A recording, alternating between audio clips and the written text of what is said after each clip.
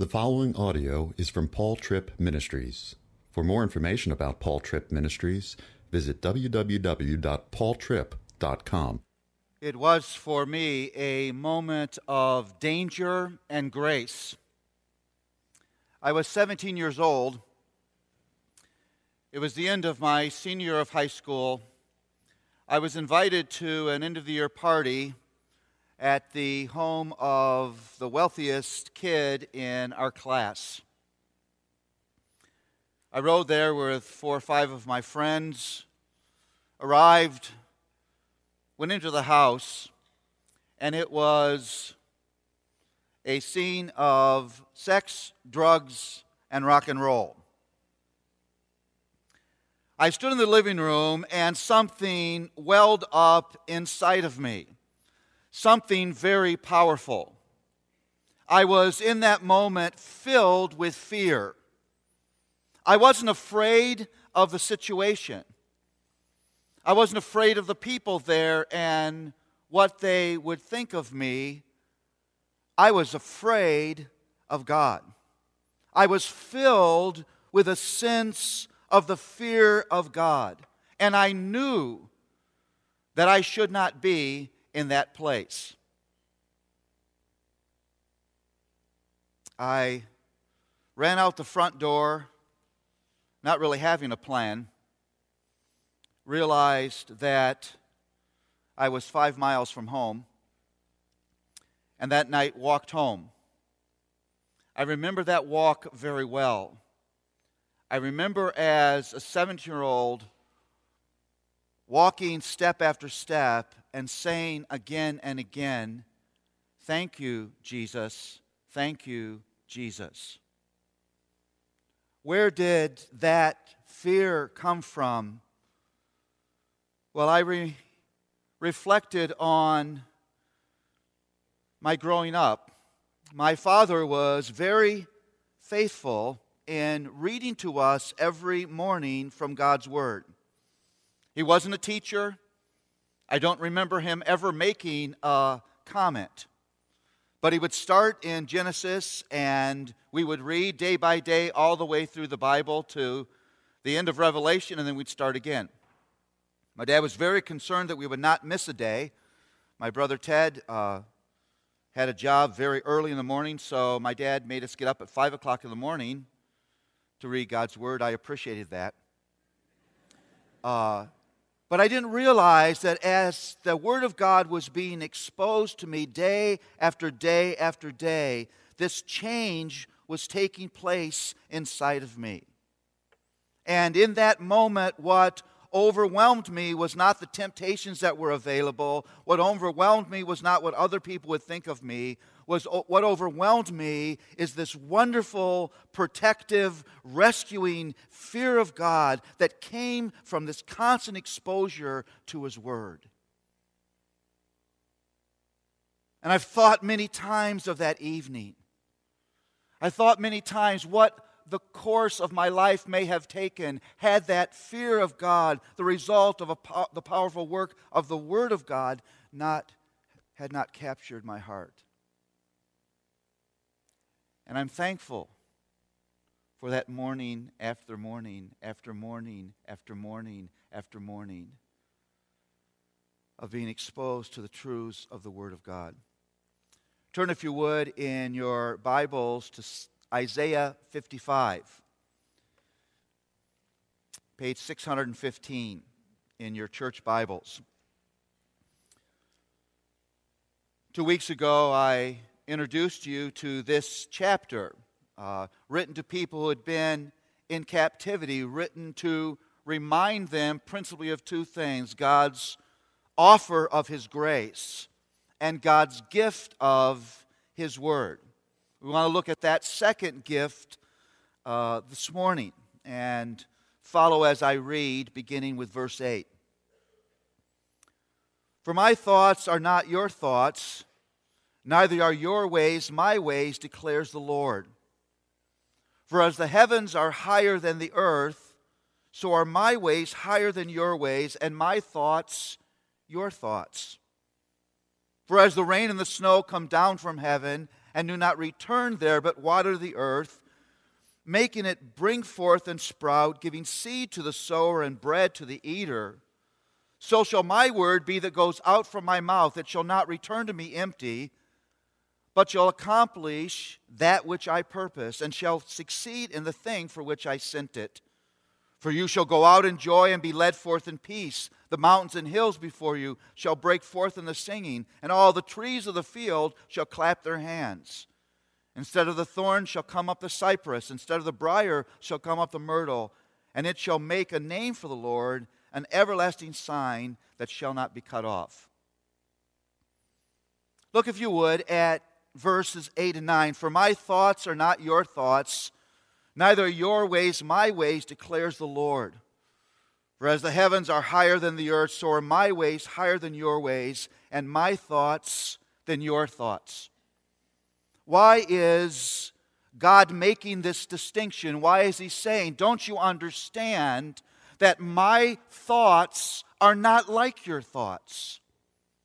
That my thoughts are higher from your thoughts in the way that that furthest twinkling star that you can barely see its twinkle is from where you stand.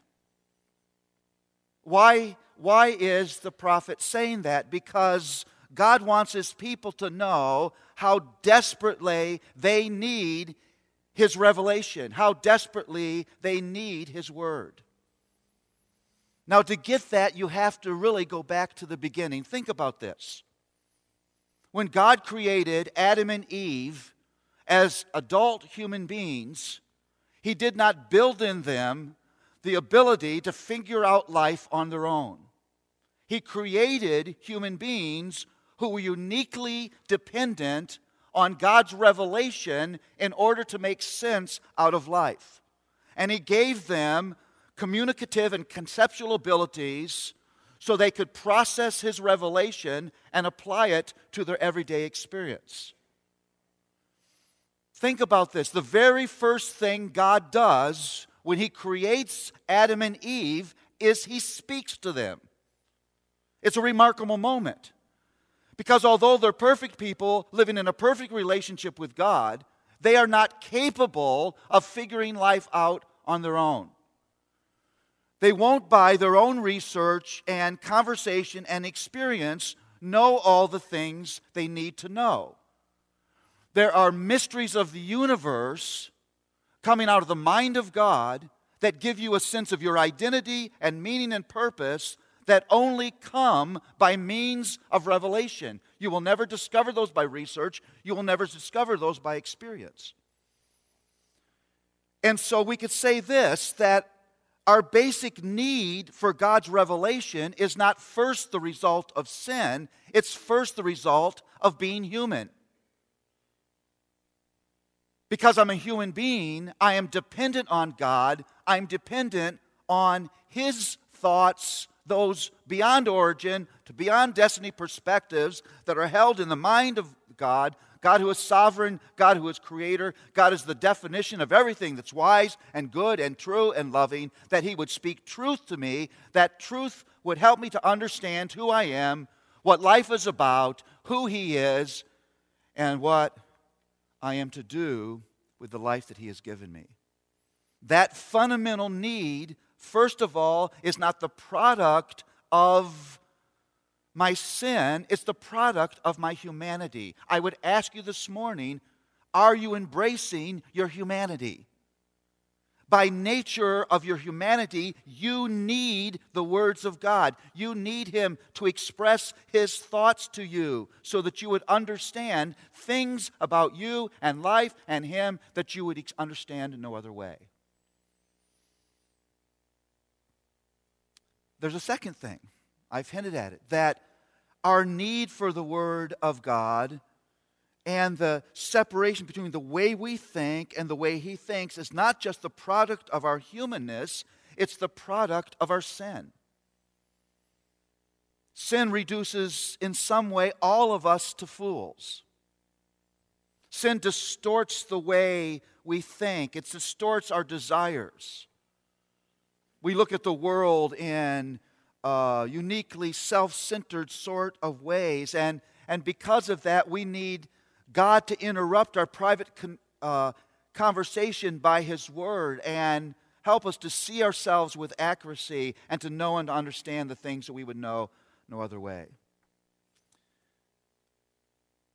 Luella and I have thought of this many times when we celebrate our anniversary.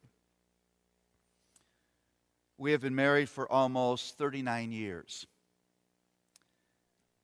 We were married when we were five.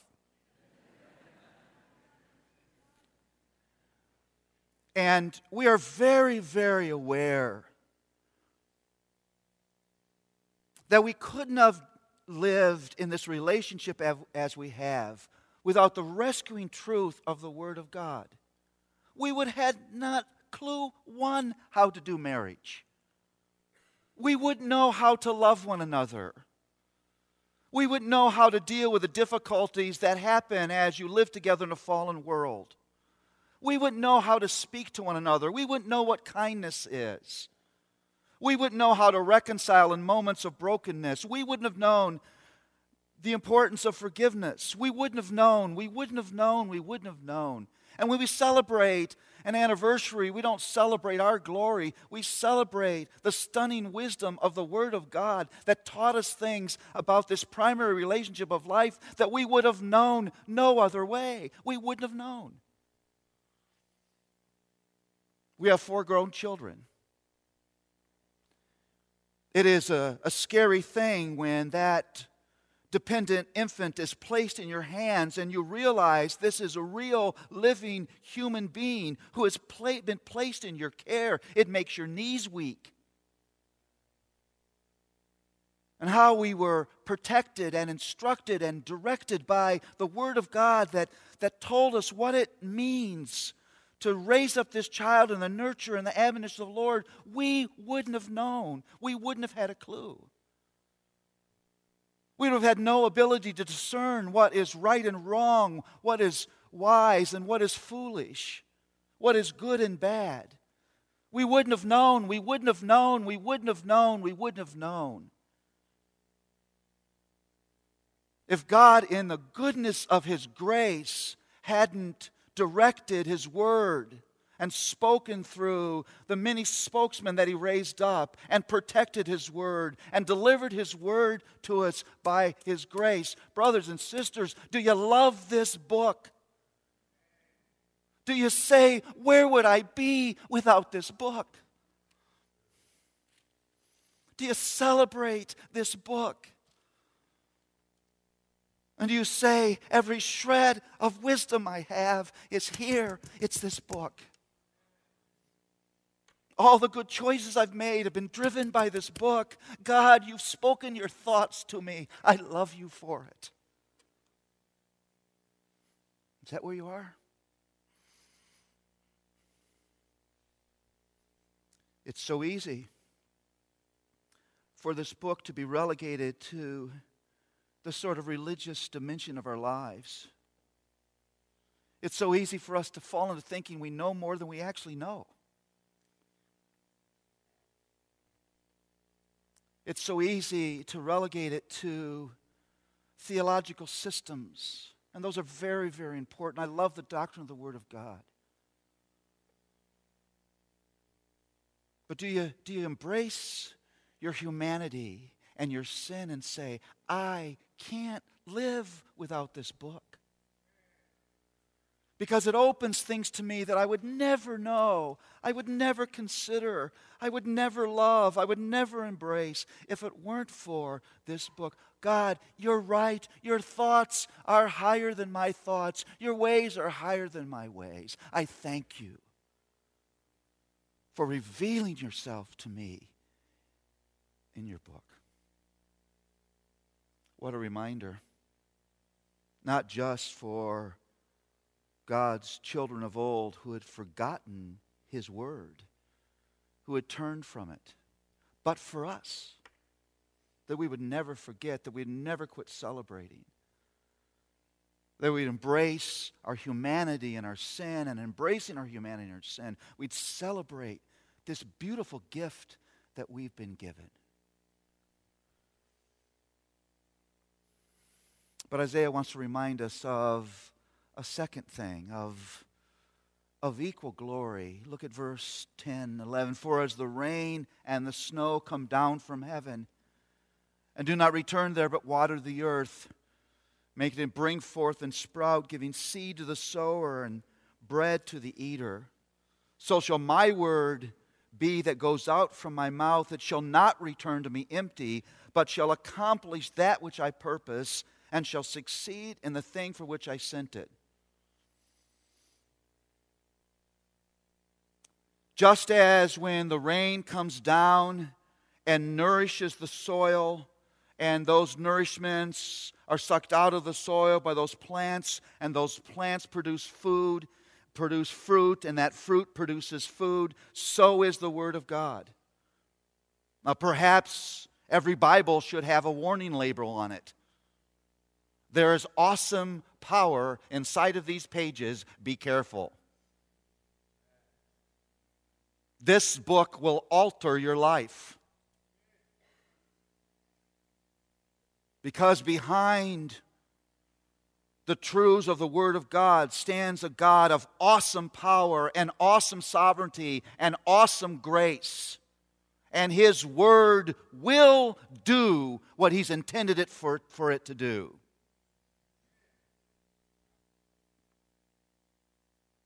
I think again of my own life that I had no idea as a little boy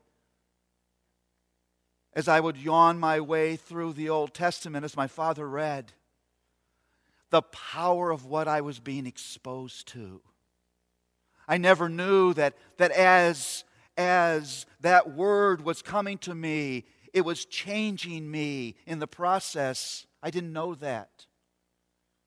Until that evening, it became very clear that a significant and wonderful change had happened inside of me. I stood at 17 years old. This is grace. It has nothing to do with me, it's grace. And there was something stronger in me than temptation, there was something stronger in me than the opinion of other people. There was something stronger in me than the pleasures of the moment. The power of the Word of God had changed me because God's Word will do what He's intended it to do. And God, in sovereign grace, before the foundations of the world, raised up a man. I don't even know the final spiritual state of my father, but He raised him up as a spokesman, raised him up to speak God's Word into my life because God had ordained for me to be exposed to that word, and the power of that word would alter me. Praise Him. I can't even say I was a good listener, a good student. I know I, I surely said to my father many times, Are you done reading yet? I can remember my father once reading. He did this very well. He didn't alter the quasi monotone of his voice, I had fallen asleep. He kept reading and walked over and bumped me on the head with the Bible that he was reading. But the Word was doing its work. Now, if you believe that, then you want to put yourself under its reign. Wherever the Word of God is reigning, you want to be there. You want it to water you and to grow you you want to experience the powerful, sovereign reign of the Word of God that will do what God has purposed for it to do. Now, that begs a question. It actually should be the question in your mind right now. It's, the question should be okay, if, if God's Word will accomplish its purpose, then what is its purpose? What is it that the Word of God is intended to do? Uh, I've often heard preaching on this passage, and often it, it ends with verse 11, and that's always kind of frustrated me. Because verse, verses 12 and 13 really do lay out for you the ultimate purpose of the Word of God in, in graphic word pictures. For you shall go out in joy and be led forth in peace. The mountains and hills before you shall break forth into singing, and all the trees of the field shall clap their hands. Instead of the thorn shall come up the cypress. Instead of the brier shall come up the myrtle. And it shall make a name for the Lord, an everlasting sign that shall not be cut off. I want you to hear what I'm about to say. The ultimate purpose of the Word of God is worship. The ultimate zeal for the Word of God is God's own glory. That we, as his children, because of the reign of the Word of God, would become people who, in every way, delight in his glory, and we live for his glory, and celebrate his glory, and worship him in glory forever. That's the end. That all creation will turn and stand and applaud the awesome glory of God. The trees clapping, the mountains singing that all of creation will finally do what it was meant to do worship the Lord forever. The purpose of the Word of God is worship. Now, what's the pathway? Well, you see it here. Instead of the thorn shall come up the cypress, instead of the brier shall come up the myrtle. It's a bit of a weird metaphor. Because you still have this rain metaphor, and and think about this when, when uh, water, when rain rains down on a little thorn bush and it's nourished, what do you get? You get a bigger thorn bush. When rain rains down on a myrtle or a, a little briar, what do you get? You get a bigger briar. You've never seen rain fall down in your backyard, turning a bramble bush into an apple tree. It's, it's a metaphor of fundamental organic transformation, organic change. That when the rain of the Word of God comes down on you, it fundamentally alters the organic content of your heart that you just you don't become a bigger and better you. You become a radically different you. Now what's the core of that difference? Here it is. It's what's seen in the history of israel. We in our sin become people who forsake the glory of god for what glory? What glory the temporary glories of creation, the temporary glories of self sovereignty. We begin to live for our glory. We begin to make our own rules. We begin to replace God with the creation. So rather than God's glory, we rather have the glory of human acceptance, or the glory of power, or the glory of pleasure, or the glory of comfort. And that way, we're like that that thorn bush. Uh, the thorns of our own pride, the thorns of our own greed, the thorns of our anger, the thorns of our selfishness, the thorns of our lust that are all the result of self being in the place where only God is meant to be. And so God says, I'm going to give you my word, and what that word is going to do by the power of my grace operating through it, through it is radically change you from the inside out. So you no longer desire to have you in the center of your universe. You want me to be there, and you no longer pursue your own glory, but you pursue mine. And you want to be part of my work on earth. You want to live inside the boundaries of my truth. You want somehow, some way that your words and your thoughts and your actions would live for my glory.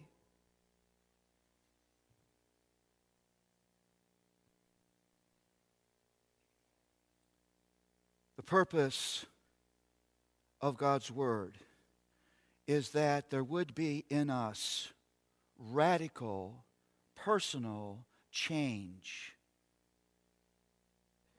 that cause us to be people who have as the center motivation of our life the glory of God. Now, you will recognize, if you're able to look into the mirror of the Word of God this morning, that you and I aren't there yet. There is still this, this skirmish of glory in our hearts. And so we need more of the transforming power of the Word of God. We need more of its rain on us, that rain that is able to turn a thorn bush into a cypress tree, a briar into a myrtle. You can't consider the wonderful encouragement of this passage without thinking about the person and the work of the Lord Jesus Christ. How does God transform us? By this book, driving us to the foot of the cross of the Lord Jesus Christ. Because central, the central character of this book is the Lord Jesus. The central event of this book is his life, death, and resurrection that releases me from my bondage to me, offers me forgiveness and right standing with God, and the hope that someday every thought, every desire, every motivation, every action, every word of this man will be done in a consistent pursuit of the glory of God. Hear this Jesus is that rain. What the Word of God rains down on you is the person and work of the Lord Jesus. His transforming grace.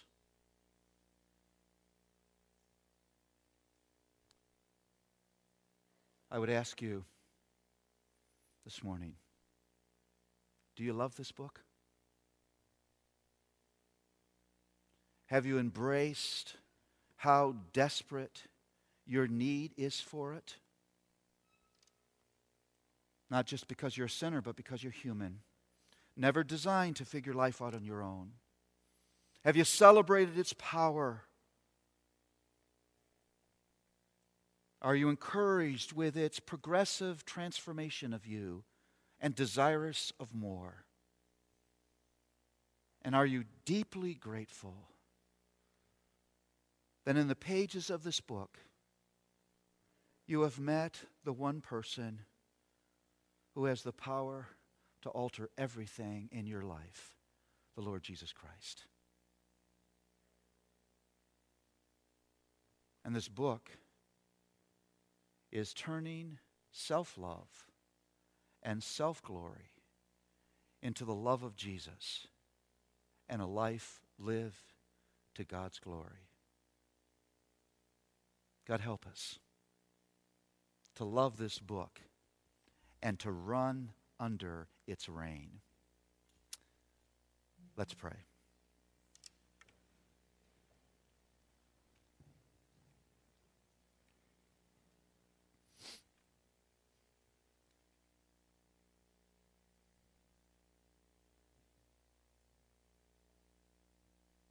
Lord, how thankful we are that the God who rules, the God who creates, the God who acts with wisdom and authority is also the God who speaks. And you have spoken to us the deep mysteries of the universe that liberate and redeem in your word. Your word brings us to Jesus, to the new life that can only be found in him. Your word gives us wisdom and understanding that we could never have. Your word changes at the, at the level of the deepest motivations and desires and thoughts of our hearts. May we be those who love your word who want to be wet with its rain. And may that bear a harvest of continuing new fruit to the glory of your name. Amen. We're going to sing next uh, Joy to the World. Uh, that's not a mistake. These hymns should not just be relegated to the Christmas season. They're wonderful hymns of the faith, and we should sing with this kind of joy this morning. Thank you for listening to audio from Paul Tripp Ministries. Feel free to make copies of this audio to give to others, but please do not charge for those copies or alter the content in any way without permission. For additional resources, visit www.paultripp.com.